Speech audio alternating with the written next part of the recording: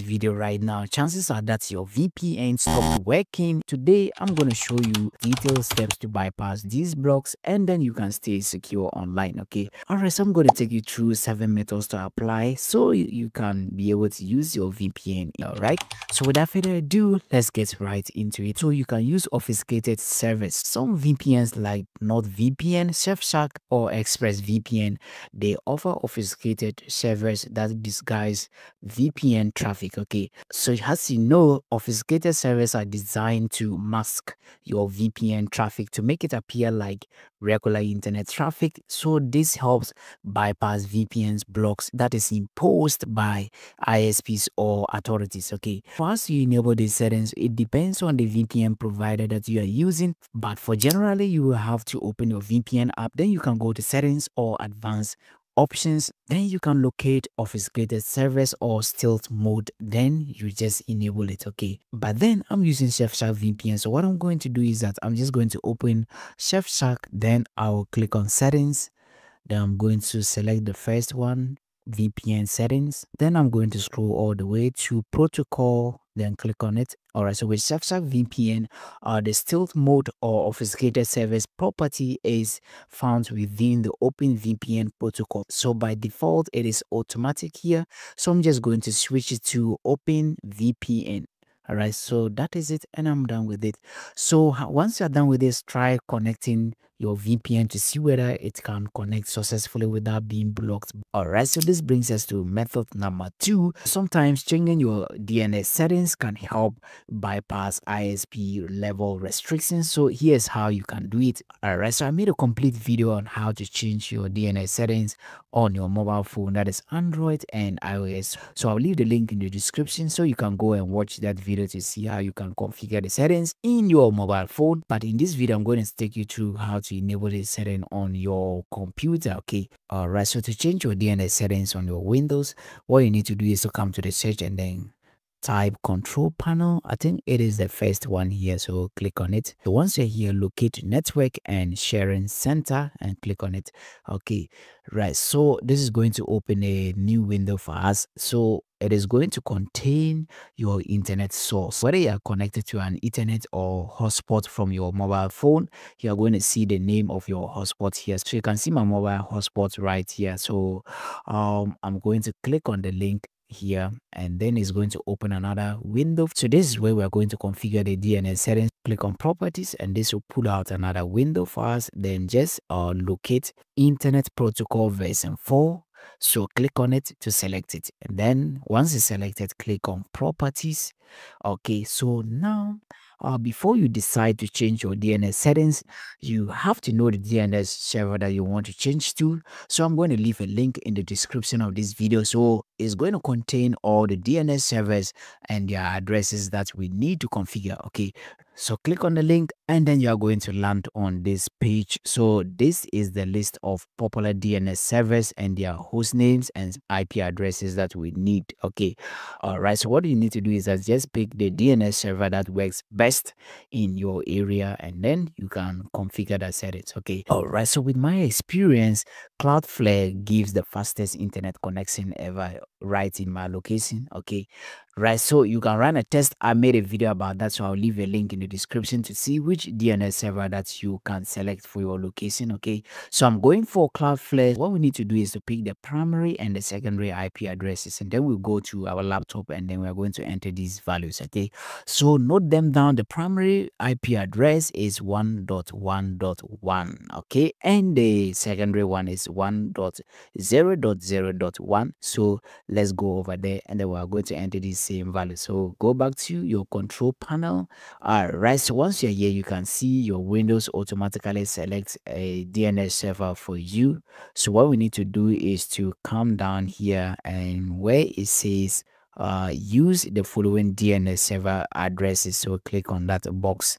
All right. So the first box, enter the primary DNS server address. So it was 1.1.1.1. And then the alternate or secondary DNS server address, we're going to enter 1.0.0.1. Okay, so once you're done with that, just click on OK. Then you can close these windows. Okay, you are done with that. and then you can restart your connection to see if you can now connect to your VPN successfully. Okay. Alright, so to apply the same settings on your mobile phone, you can check the video in the description below. Alright, so if VPNs are entirely blocked, then there's an alternative to this. Okay. What you need to do is that there's a particular browser, then you can download it install on your PC or on your mobile phone, and then you'll be able to browse securely without being blocked by your authority. Okay. Just open your browser and you're going to type uh, Tor browser. Okay, click on the first link, Tor project. Alright, so this project is available for Windows, Linux, Mac OS, and then Android. Okay, right. So you can uh, download it for your preferable device, and then it's going to work for you. So if you are going to download it on your Windows, just click on the Windows project, you download it and then you follow the instructions to install it on your PC, okay? Right, but I'm going to install the Android app on my phone. So I'm just going to go to Play Store and then I'm going to search for Tor browser and then uh it is the first one here. I already have it on my phone so you can see that. I'll just go ahead and i'm going to click on open. All right so once you're here everything is simple. So just turn on the first gear. Uh, always connect automatically. So turn it on and then you're going to come down here and just click on connect. Okay. Right so you're done it is connected. Uh, right so it is a browser for you so you can browse anything at all that you want without being noticed by your isp or your government restrictions okay? So let's say maybe i want to visit a website let's say pautecom maybe .com. So i just click on search and then it's going to open the website for me. So RSA, any content that you wanted to access and then you were blocked by your ISP or your government, then you can use a Tor browser as an alternative to your VPN. Okay. Alright, so this brings us to method number four, that is by switching VPN protocol. So sometimes some VPNs uh, protocols are harder for ISPs to block, okay? Depending on your VPN provider, then you can try switching to different protocols to see if you can uh, reconnect successfully without being blocked, okay? Right, so I'm going to show you how to do it on PrivadoVPN. So once you open it like this, you are going to go to settings and you click on it so, by the way, PrivadoVPN is the best free VPN in the world right now. It gives you 10 gig uh, every month to use. Then you can decide to upgrade to the paid one. I'm using the premium one. Okay, right. So the VPN protocols is just located on the left panel here. So I'm just going to click on the protocol and then you can see that it is automatic here. So I'm just going to uncheck it. That will allow me to select uh, the preferred uh, protocol that I want. Whereas mostly WireGuard and OpenVPN protocol is able to hide you from uh blocks right so i'm going to select our OpenVPN and then i can click on save and then I'm done. Okay, right. And then my VPN is going to reconnect me.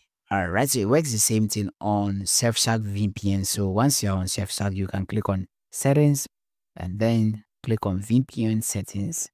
And then down here, you have protocols. Then you can see I already left it on Alright, so OpenVPN is selected here. If OpenVPN protocol doesn't work for you, try switching to different protocols to see if your connection will go through. So I can switch to WireGuard and the rest. Okay, right. So once you're done, just click on reconnect and then you'll be connected successfully.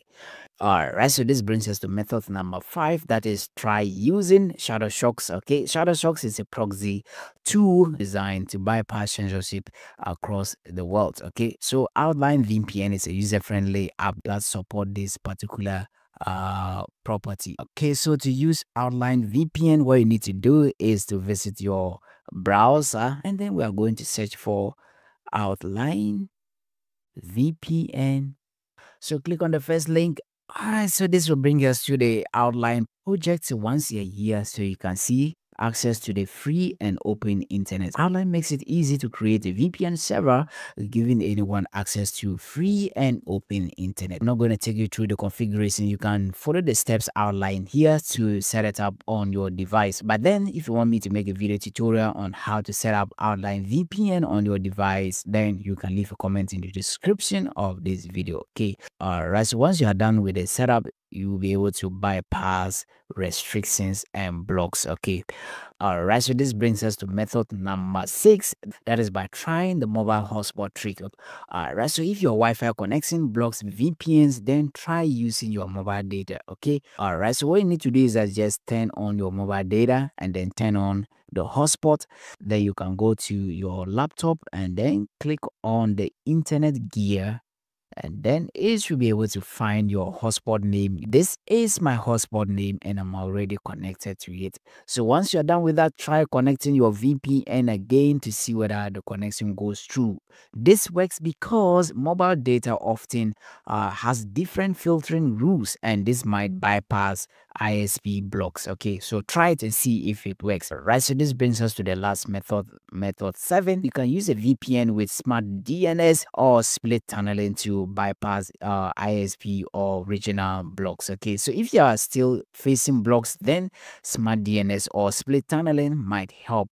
So Smart DNS bypasses ISP restrictions by routing only specific parts of your internet traffic, such as streaming services through the special DNS service. So many VPNs like ExpressVPN, Surfshark includes this feature in their premium. Okay, right. So what you need to do is that you have to just enable smart DNS in your VPN settings, configure it on your router or device by following instructions provided by your VPN provider. Okay. Alright, so the different VPN providers provide different steps to enable this feature okay? So let me know which vpn you are using and if i can assist you uh turning this feature on on your device okay? So when you are done configuring smart dns on your device it helps reduce the chances of detection and ensures that you have smoother connectivity okay? Right so how much information is needed for you to configure these settings? So you can find help by uh typing smart dns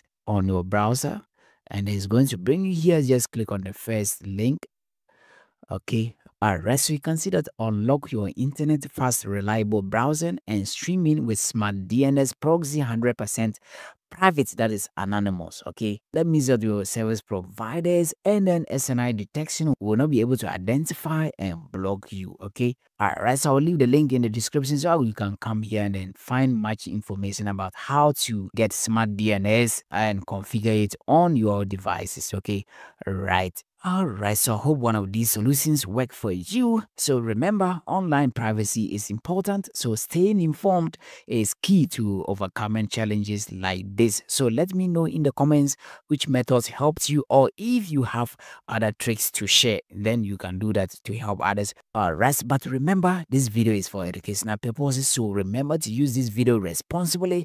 That is to try to stay safe online and without negative purposes. So don't forget to like, subscribe, and share this video for more tech tips and stay safe and then connected. And hope to see you next time again. And then goodbye.